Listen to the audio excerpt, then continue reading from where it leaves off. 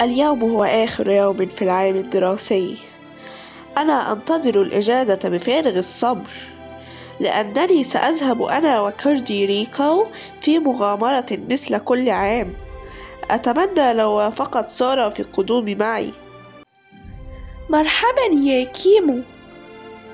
مرحبا يا سارة جئت في الوقت المناسب. أردت أن أسألك هل تخططي فعل شيء في الأجازة الصيفية؟ لا لا شيء. سوف ألعب أنا وأخي آدم باللعبة الجديدة حرب النجوم. إذا ما رأيك أن تأتي معي أنت وآدم؟ سوف نلف العالم.